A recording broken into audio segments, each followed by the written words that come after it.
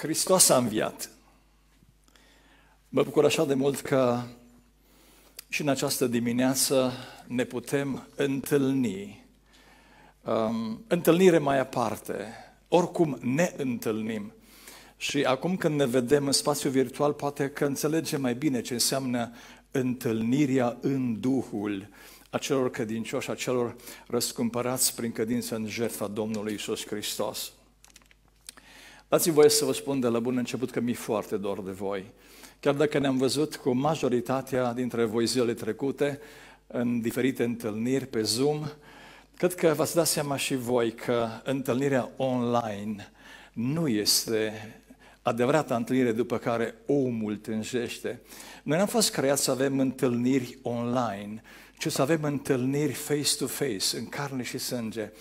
Uh, de aceea cred că e fundamental când vorbim de înviere să înțelegem că e vorba de o înviere în corpuri.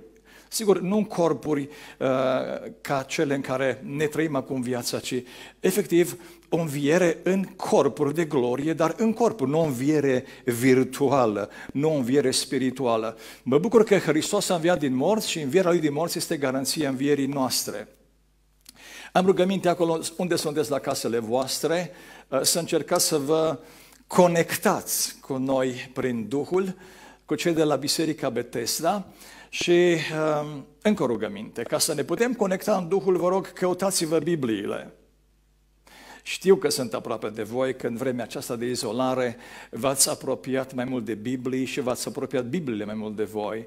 Luați-vă copiii, um, așezați-vă cât mai confortabil și asigurați-vă că, asigurați-vă că aveți Biblia înaintea voastră. Și pregătiți-o la 1 Corinteni 15. O să citim mai târziu acest capitol.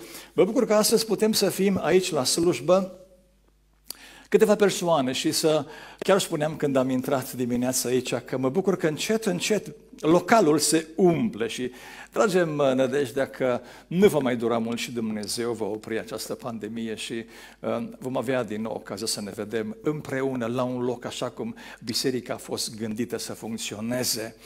Uh, aș vrea să ne rugăm acolo unde suntem și dacă nu vă cer prea mult, Uh, haideți, stați în picioare sau în genunchiați, dar uh, am rugămintea, este ziua în care celebrăm învierea Domnului nostru Isus Hristos. Haideți să o celebrăm cum se cuvine. Hai ne ridicăm în picioare sau în genunchiați, cum vă simțim mai confortabil și să ne rugăm Domnului, să-i mulțumim pentru învierea lui Hristos din morți, și să cerem ca binecuvântarea Lui să fie peste cântarea de laudă de aici și din casele voastre.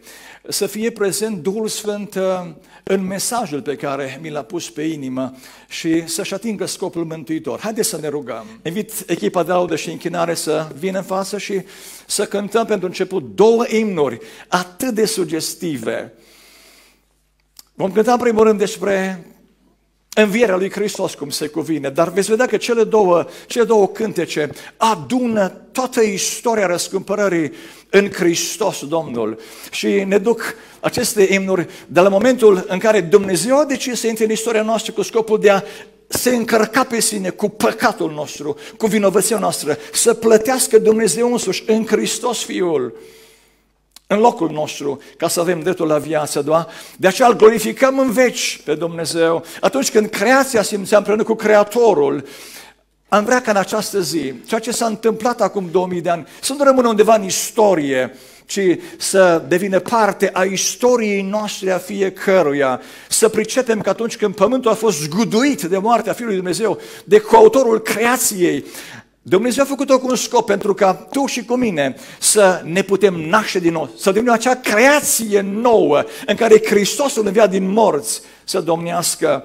De aceea, hai să cântăm împreună, să înțelegem că eliberarea noastră de păcat putea fi realizată doar prin moartea celui ce ne-a creat și să-L binecuvântăm în consecință. Amin.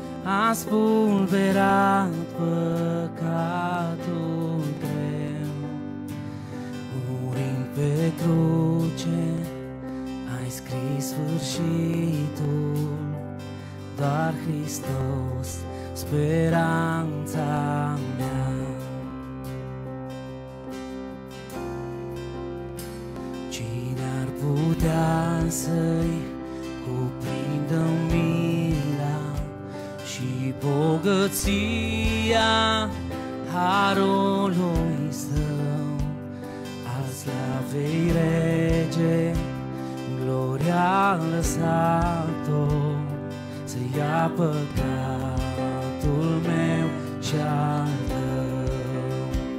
Crucea proclamă iertarea noastră, El ne-a ales să fim mai săi. Mântuitor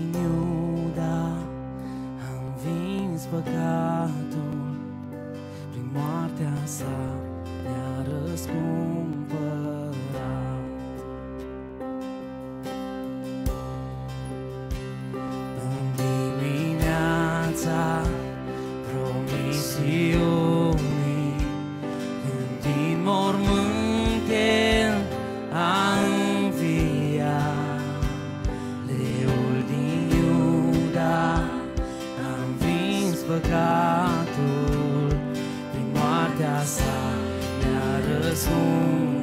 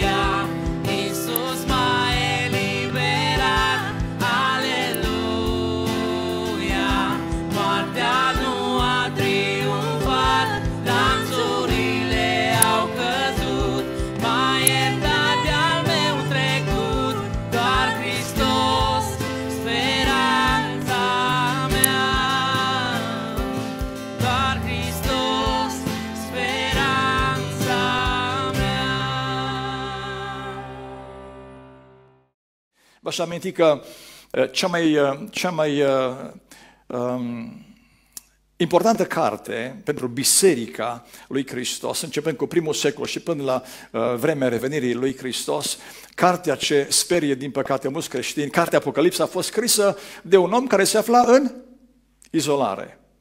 Printre cele mai frumoase epistole din Noul Testament pe care le avem sunt scrisori, sunt epistole scrise de către un om în Izolare, era în pușcărie. Așa că nu mă mir că în vremea aceasta de izolare Duhul Sfânt să folosească mesajele Evangheliei să pătrundă în cât mai multe minți, în cât mai multe vieți și să transforme cât mai mulți oameni. Tragem nădejde că și mesajul de astăzi va lucra în sensul acesta și uh, pentru că știu că aveți deja Biblie deschise la pagina 125, hai să citim împreună textul care ne va sluji ca suport pentru învățătură din această, în această zi.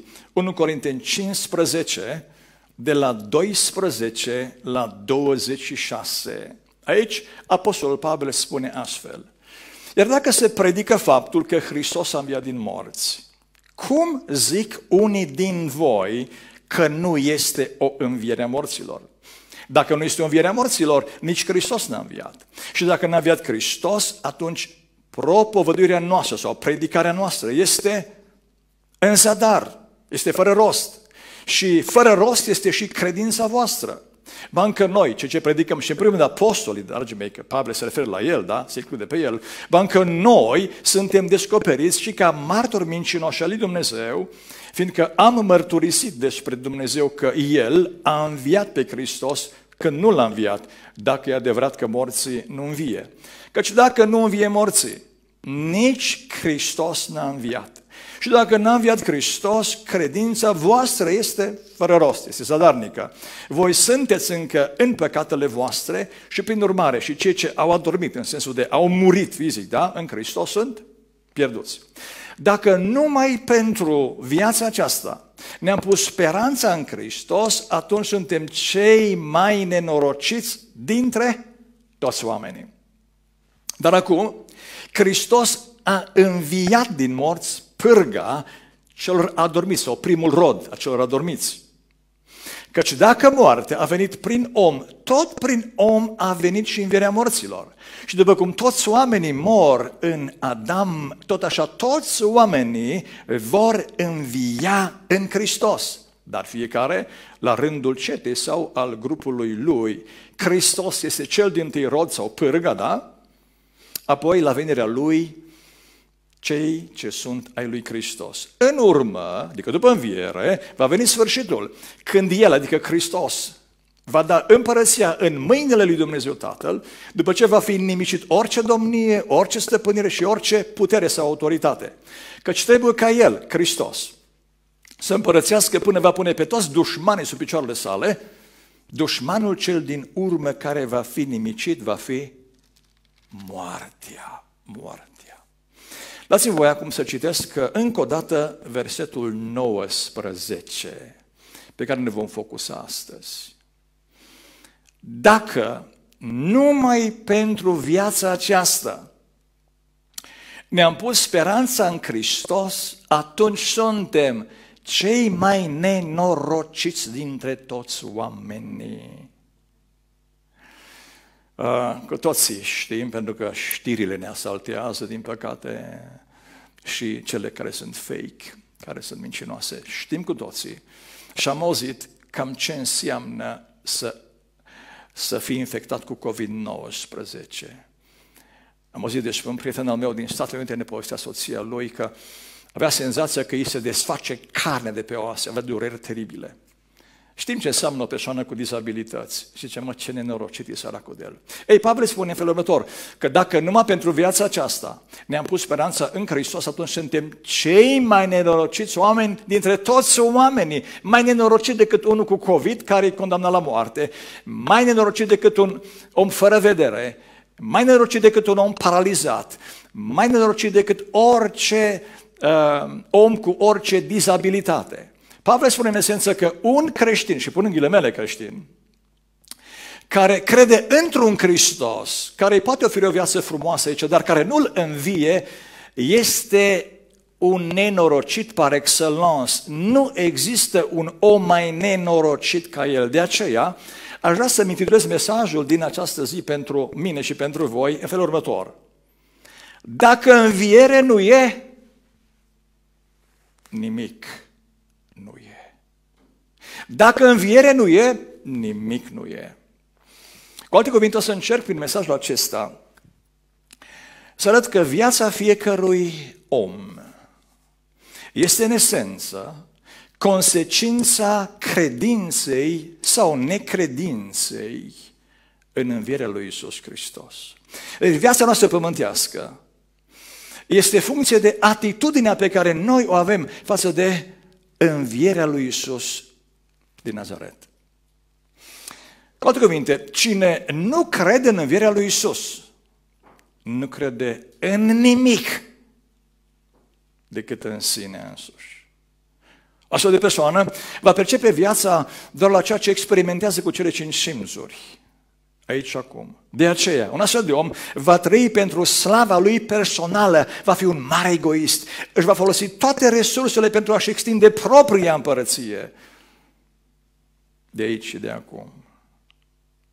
După cum spune Pavel, în acest context din care citim în dimineața asta, în versetul 32, partea B, dacă nu vie morții, atunci să mâncăm și să bem, căci mâine vom muri. Asta este filozofia de viață, gândirea și trăirea unui individ care exclude învierea lui Isus din morți. Pe de altă parte, cine crede în învierea lui Isus, crede în Dumnezeu și în tot ce spune El, va crede implicit în propria lui înviere. De aceea viața lui și toată investiția vieții lui va fi pentru slava lui Dumnezeu. Își va folosi toate resursele pentru a se alinia la planul lui Dumnezeu și pentru extinderea împărăției lui Dumnezeu în viața cât mai multor oameni. Adică va fi un mare altruist. Își va folosi viața, cum spune Hristos, pentru a câștiga adevărata viață. Pe vorba lui Pavel, 1 Tesaloniceni 4 cu 14, dacă credem că Isus a murit și a înviat, credem și că Dumnezeu va aduce înapoi împreună cu Isus pe cei ce au dormit în El. Deci omul care crede în învierea lui Isus își modelează toată viața și o dimensionează funcție de adevărurile care curg din credința în învierea lui Isus. Adică el înțelege că viața lui nu se oprește într-un cavou, într-un cimitir, ci trece dincolo. În timp ce Europa își plângea încă morții și încerca să-și refacă rănile emoționale și economice după cel de-al doilea război mondial, cancelarul Germaniei de atunci, Konrad Adenauer, a auzit de un uh, evanghelist american în plină ascensiune, prin care Dumnezeu ce speranță în atâtea zone ale lumii și l-a invitat la Berlin. Când a intrat în biroul cancelarului, evanghelistul Billy Graham, cancelarul a privit senin pe evanghelist și a pus următoarea întrebare. Domnule Graham, chiar credeți că Isus a înviat din morți? Evanghelistul, foarte surprins de felul cum l-a întâmpinat cancelarul Germaniei, i-a răspuns în felul următor. Domnule cancelar, dacă nu aș crede că Isus a înviat din morți, n-aș predica Evanghelia. Și după o scurtă tăcere, în care cancelarul se îndreaptă spre fereastra biroului său, face o afirmație uimitoare pe care vă citesc. De au zis, Domnule Graham, fără învierea lui Isus Hristos, nu văd nicio speranță pentru omenire. Nu știu de unde a fost inspirat acest, acest om politic când a făcut afirmația. Dar numai Duhul lui Dumnezeu putea să spună așa ceva prin gura lui. Și atunci dați-mi voie să iau această afirmație lui uh, Adenauer și să o arunc către voi, acolo unde sunteți acasă. De ce oare? De ce oare fără învierea lui Hristos nu există nicio speranță pentru omenire? Pentru că, în esență, Adenauer spune ceea ce am spus eu ca și titlul mesajului. Dacă înviere nu e, nimic nu e. Dacă înviere nu e, speranță nu e. De ce oare, fără învierea lui Hristos, nu există nicio speranță pentru omenire? Hai să vă spun de ce cred eu că așa este. Pentru că dacă Iisus Hristos nu a înviat, atunci înseamnă că El nu este Fiul lui Dumnezeu, cum a pretins, ci cel mult un om foarte bun, un om extrem de inteligent, un învățător par excellence, care a oferit o moralitate deosebită. Dar, la urmă urmei, atâția înțelepți, atâția învățători, atâția filozofi au trăit și trăiesc în lumea noastră. De ce să cred în Iisus din Nazaret? Cel care n-a scris nici măcar o iotă în comparație cu alți învățători care au scris volume. De ce să cred în El? De ce fără învierea lui Iisus nu este speranță pentru omenire? Pentru că dacă Iisus Hristos n-a înviat, atunci nu există o înviere a morților. Adică dacă nici acest om n-a înviat, atunci cine să învie? Și dacă nu este o înviere a morților, înseamnă că viața noastră se limitează doar la ceea ce experimentăm cu cele cinci simțuri pe care le avem și pe care și animalele le au.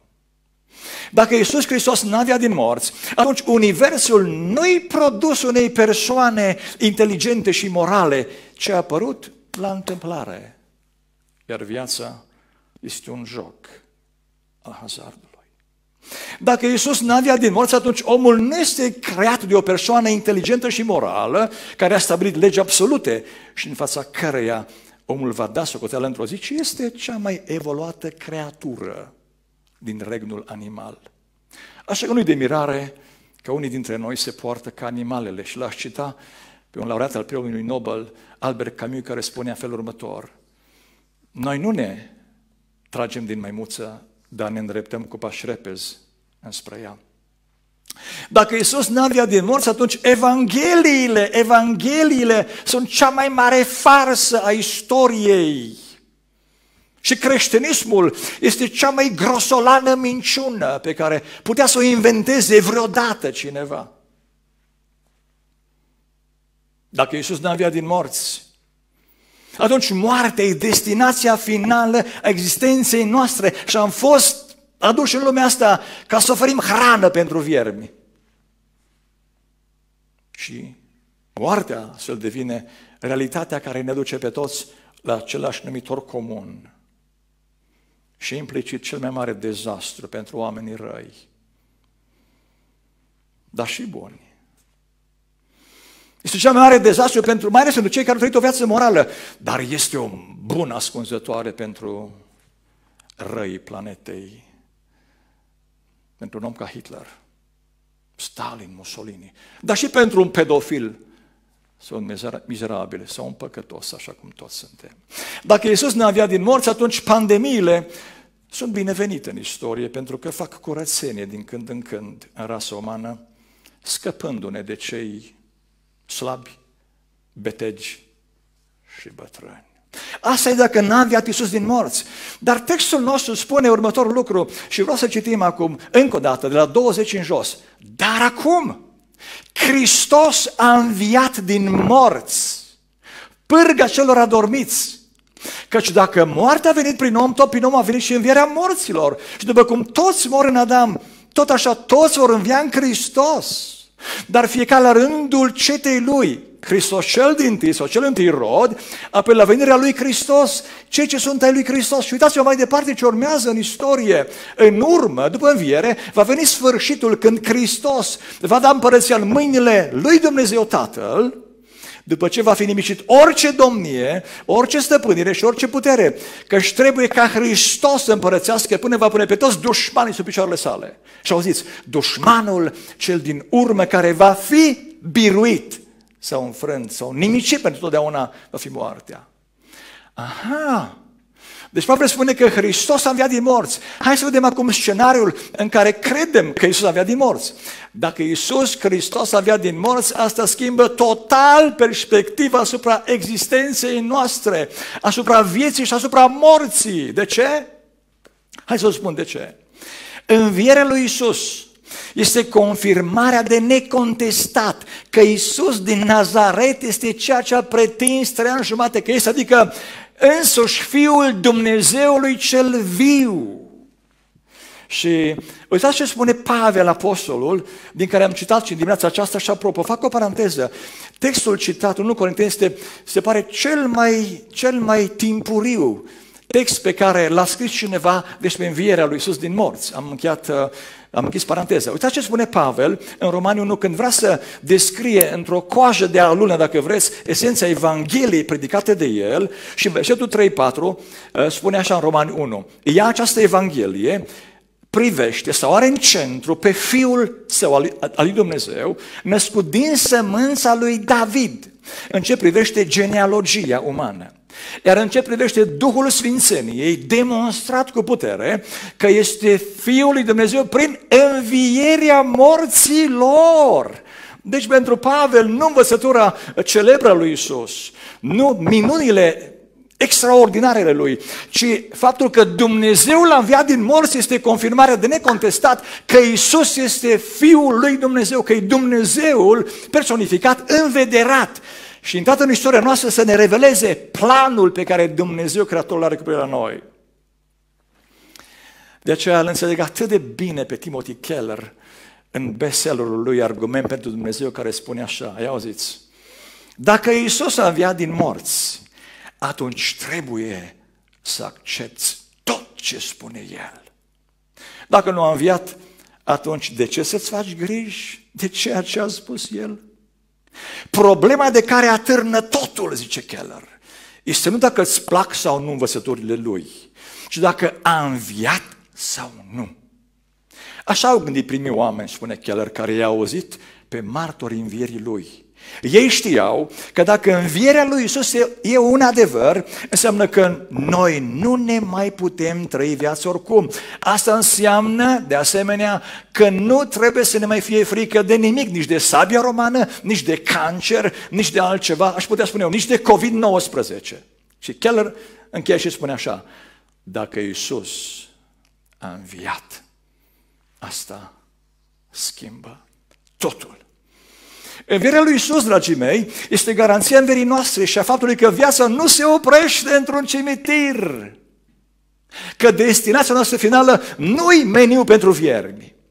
Învierea lui Isus demonstrează că, așa cum spune Ravi Zacarias, Dumnezeu este cauza primordială, primară, personală, dar și morală a tot ceea ce există. Învierea lui Isus demonstrează că omul nu este un animal evoluat, ci este creat după chipul și asemănarea Creatorului Său, fiind o ființă inteligentă și morală, de aceea responsabilă și care într-o zi va da socoteală de viața lui înaintea Creatorului Său. Învierea lui Isus demonstrează că Evangheliile sunt cea mai mare binecuvântare pentru omenire, deoarece acolo, în Evanghelii, ne se descoperă planul lui Dumnezeu în Hristos pentru salvarea noastră. Și de aceea spune Pavel, Evanghelia este puterea lui Dumnezeu pentru mântuirea fiecăruia care crede. Învierea lui Isus demonstrează faptul că moartea nu este destinația noastră finală, ci doar o fază, ca și altele. Că vom experimenta cu toți învierea, că va fi o judecată a celor drepți și a celor nedrepți și că acea judecată va pecetlui destinația noastră finală, fie în compania eternă a Dumnezeului care ne-a creat, fie despărțirea eternă de El. După cum sublinează David Gooding într-un comentariu al său, al, al său, iată ce spune el, prin învierea lui Isus, Dumnezeu a intenționat să învețe nu numai pe Israel, ci pe toți oamenii un lucru fundamental despre univers. Că adică moartea nu este o rânduială permanentă, indestructibilă, irreversibilă a naturii. Prin urmare, moartea nu este dezastrul suprem pentru cei buni, nici o inexpugnabilă baricadă de protecție pentru cei răi. Învierea lui Isus demonstrează că pandemiile sunt atât un semn al manifestării justiției și a mâniei lui Dumnezeu față de necinstirea Lui de către noi oamenii, dar și un gest al harului, al milei, a, a dragostei Lui, dar ce ne oferă ocazia în timpuri ca acestea pe care noi le trăim azi să ne evaluăm viața, să ne smerim rațiunea înaintea Lui, să recunoaștem cine e El și cine suntem noi. Acum, în continuare, vă invit să ne frământăm mintea cu câteva întrebări care mi se par foarte la îndemână și foarte logice. Dragii mei, ce l-a transformat pe lașul de Petru, unul din cei 12 cinci ai Mântuitorului, într-un protagonist al învierii lui Hristos? Și-a fi transformat pe Petru dintr-un laș, care de trei ori s-a abandonat de Isus și a zis că nu-L cunoaște și s-a blestemat și s-a jurat. Ce-L va transforma pe un astfel de om în unul care va domina prima jumătate a cărții Faptele Apostolului scrise de doctorul Luca și care va plăti cu moartea credința lui în Hristos. Oare faptul că în dimineața învierii a văzut mormântul lui Iisus gol și giulgiul, care erau originale, nu ca cele care se vântură astăzi, și ștergalul care a, înfășurat, a fost uh, pus pe capul lui Iisus, oare asta l-a schimbat pe Petru? Oare faptul că femeile au spus că l-au întâlnit pe Iisus înviat, sau rusaliile, cum cred în noi? Nu, dragii mei, convingerea mea este că ceea ce l-a, l-a transformat din temnic pe Petru și a recalibrat gândirea și l-a făcut să-și ancoreze viața în Iisus cel înviat din morți, este tocmai întâlnirea cu înviatul din morți. Și Luca ne spune că Iisus, cel înviat din morți, după înviere, a avut o întâlnire personală cu Petru, în care Petru a realizat cine este Iisus, cine este El și asta l-a schimbat fundamental. Dați-mi voi încă o întrebare. Ce l-a fi transformat pe filozoful din Tars, pe Pavel din Tars, dintr-un persecutor feroce al Bisericii lui Hristos și urmașilor lui Isus într-un predicator plin de pasiune a lui Hristos. Ce l-a transformat pe cel ce îi ura de moarte pe creștini și căuta să prindă cât mai mulți să-i bage în pușcărie, să-și facă un nume. Ce l-a fi transformat dintr-un asemenea urător al ucenicilor lui Isus într-un iubitor al lui Isus și într-un, într-un om care și-a legat existența viitoare de Isus cel înviat din morți. Oare ce? Întâlnirea lui Pavel cu Petru și Ioan sau cu Iacov, fratele lui Isus? Vreo experiență extatică? Nu, dragii mei, ci întâlnirea cu cel ce a înviat din morți și vă amintesc că în timp ce își făcea planul cum să prinde mai mulți urmașa lui Isus înspre Damasc, dintr-o dată, pe neașteptate, o lumină puternică îl orbește și rămâne ori trei zile și o voce autoritară îi spune, Saule, Saule, pentru ce mă persecuți? Și plin de spaimă, spune medicul Luca, Saul a zis, cine ești tu, Doamne? Și vocea a spus, eu sunt Iisus Hristos pe care tu îl persecuți.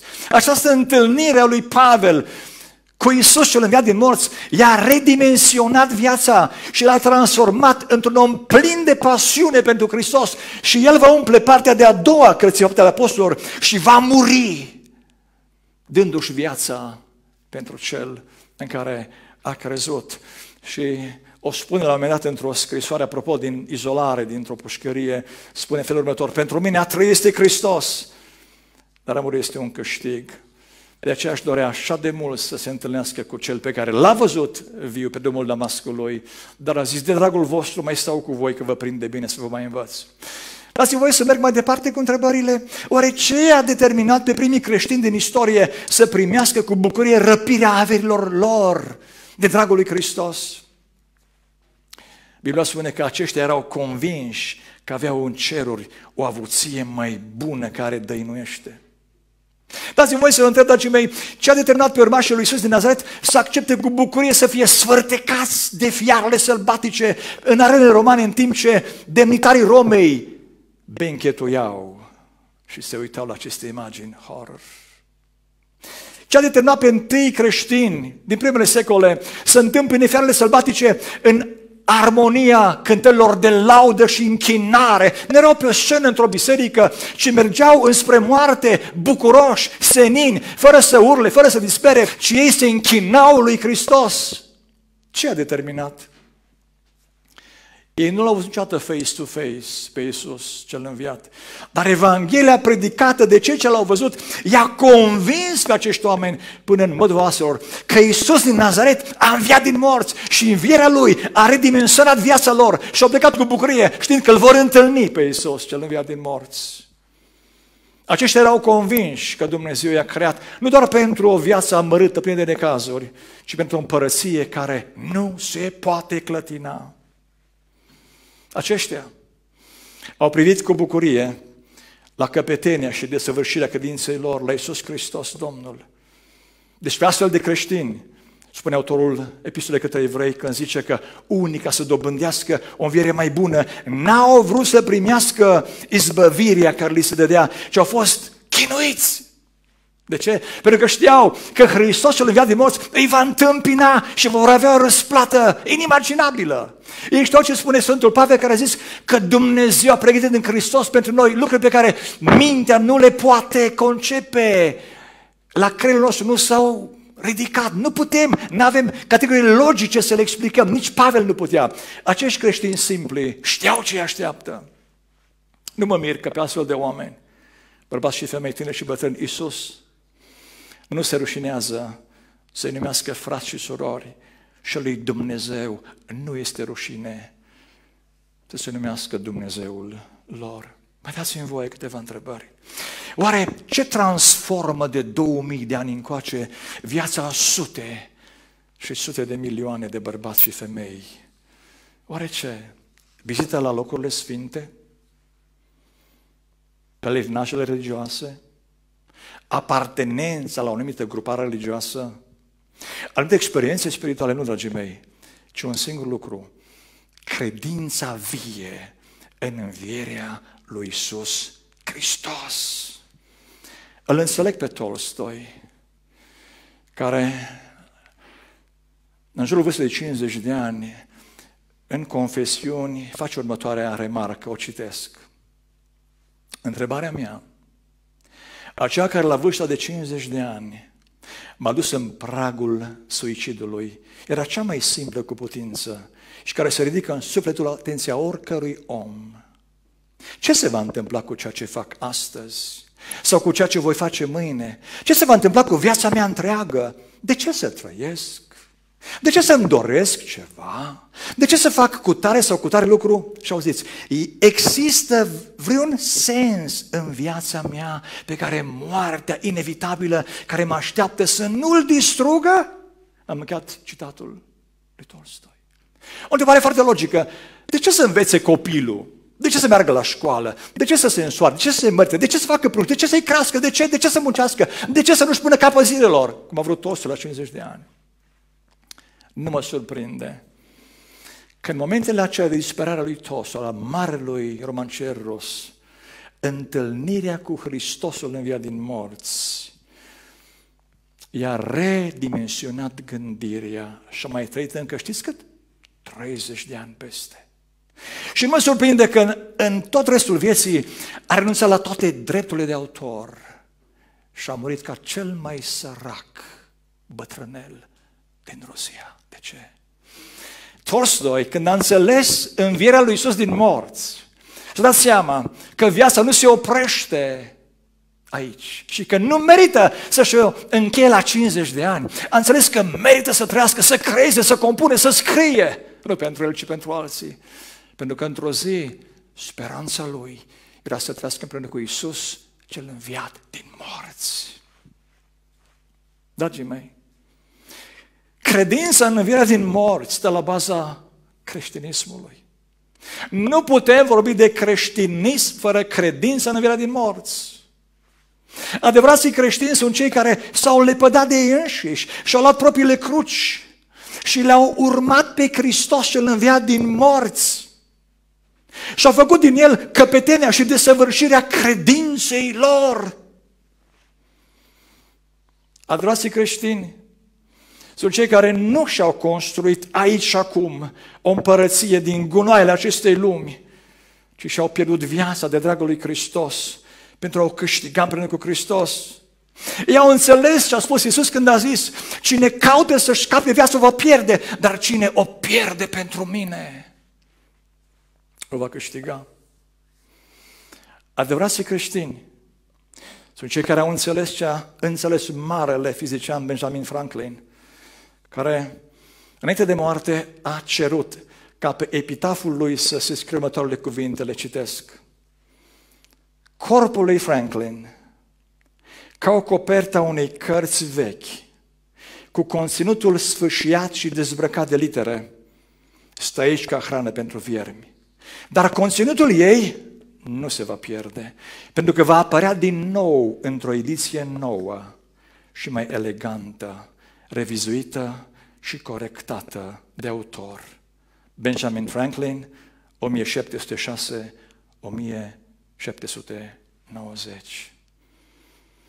Am acum cea mai grea întrebare pe care vă pun astăzi. Nu vă întreb dacă voi credeți că a înviat Hristos, pentru că știu, toți ziceți că credeți. Nu asta vă întreb, ci vă întreb o altă întrebare.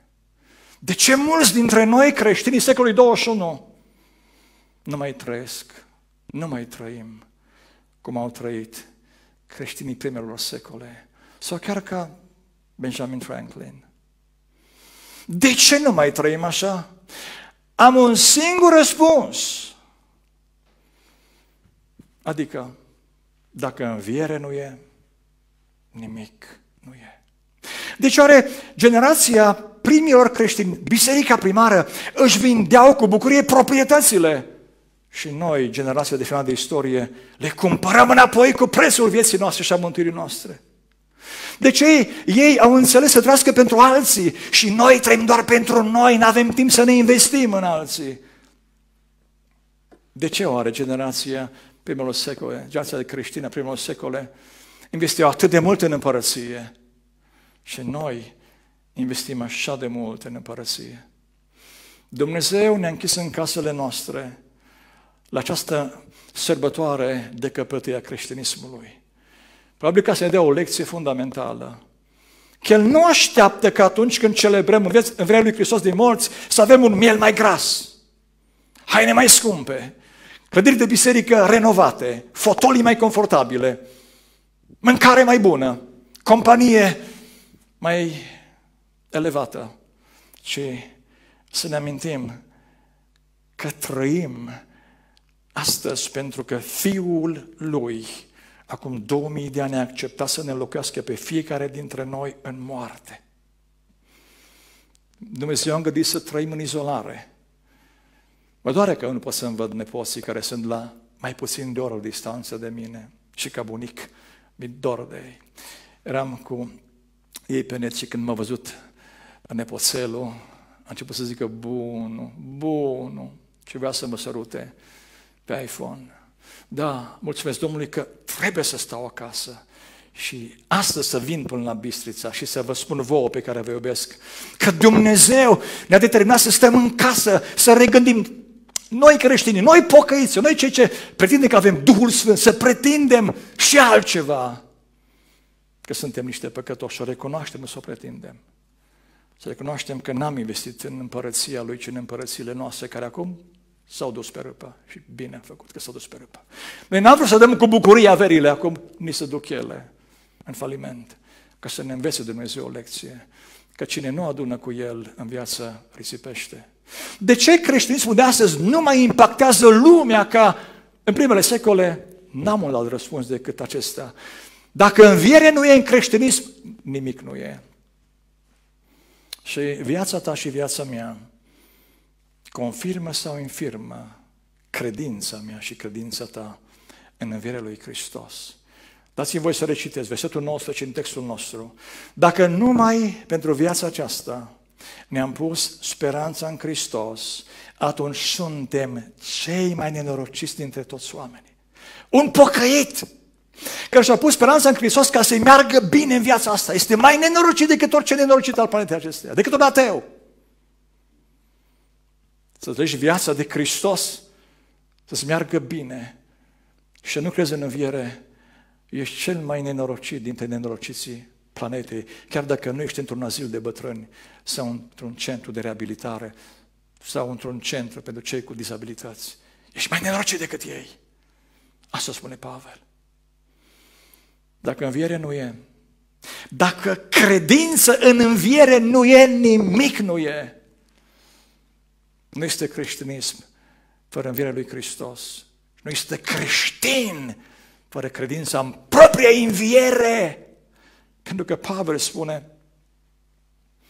în versetul 13 și în 16, în textul nostru, dacă nu este o înviere sau dacă nu crezi în înviere, cum nu credeau unii din Corint, asta înseamnă că elimini din mintea, din gândirea ta, credința în învierea lui Hristos. Și nu mă mir că în Corint filozofia greacă i-am învățat pe mulți corinteni că trupul ăsta e rău și că trebuie să te scapi de el. Gândirea filozofică dualistă grecească. Nu mă mir că după ce un student al lui Platon a citit scrierile lui s-a aruncat în cap de pe un zi s-a sinucis pentru că a zis ce sens are să mai stau în hoitul ăsta, în pușcăria asta, în temnița asta numită corp omenesc. Vreau să mă eliberez de el. Și era greu pentru corintenii noștri creștini să creadă într-o înviere efectiv, într-un trup. Ei credeau că trec în neființă, la nivel spiritual, că, sămân, că scânteia aceea divină își face cursul după ce îi mor. Nu! Pavel a spus, oameni buni, nu asta înseamnă creștinism. Hristos a înviat într-un organism de glorie, l-au întâlnit ucenicii, n-a fost un duh, a mâncat cu ei, a fost atins, a fost pipăit. E normal că nu crezi în învierea acestui organism, acestui trup, să-ți bagi joc de el. Ori Pavel, care era convins de învierea lui personală, spunea, mă port aspru ca acest trup al meu, pentru că știa că trupul lui nu este un hoit, ci este templul Duhului Sfânt, în care Duhul Sfânt îl onorează pe Hristos. De ce creștinismul de astăzi nu impactează lumea din jur? Pentru că a pierdut esența creștinismului. Credința în învierea din morți. Unde înviere nu e, nimic nu e. Nici cântarea nu e de folos, nici predica nu e de folos, nici meditația nu e de folos, nici rugăciunea nu e de folos. Dimineața ora șapte m-a sunat un prieten din Spania, după ce a ascultat meditația pe care v-am trimis-o și vouă. Și a zis, am o întrebare la dumneavoastră. De ce a trebuit să moară Fiul lui Dumnezeu? Nu avea Dumnezeu altă soluție? Excelentă întrebare. Păi nu așa s-a rugat Hristos în ghețima și a zis, Tată, dacă e cu putință, îndepărtează parul acesta. Chiar n-ai altă soluție? Bună întrebarea prietenului meu. I-am răspuns simplu, pentru că nu aveam timp. I-am răspuns simplu. Cu un cuvânt și cu două cifre. Isaia 53. Și am mai scris ceva, și în special versetul 10, care este de nota 10. Unde spune profetul Isaia, care era purtătorul de cuvântul lui Dumnezeu, gura lui Dumnezeu, că Dumnezeu a găsit plăcere, a găsit satisfacție să-l zdrobească pe Fiul Lui în suferință. Pentru că în urma morții Fiului Lui, salvarea mea și a voastră să fie posibilă. Imaginați-vă cât de mult a plătit Dumnezeu, Creatorul nostru, pentru recuperarea noastră. Isaia 1 cu 11 spune că Dumnezeu s-a scârbit, nu i-a plăcut sângele de animal, dar i-a plăcut sau găsit satisfacție să-și zdrobească, să-și ucidă propriul fiu. Pentru că păcatul meu și al vostru e atât de grav, atât de mult a afectat Dumnezeirea, încât nu putea să ne smulgă din propria mână Dumnezeu decât sacrificându-se pe sine.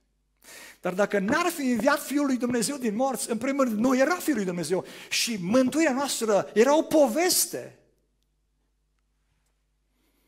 De aceea, Pavel spune în Roman 4 cu 25 că Dumnezeu l-a ucis pe Fiul Lui din cauza păcatelor noastre, dar l-a înviat de pricina că am fost socotiți, considerați drepți.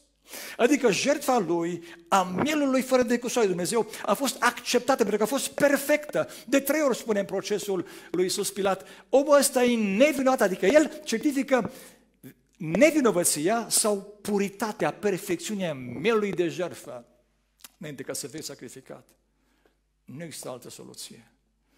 Hristos a murit pentru un mizerabil ca mine și pentru unul la fel de mare ca tine.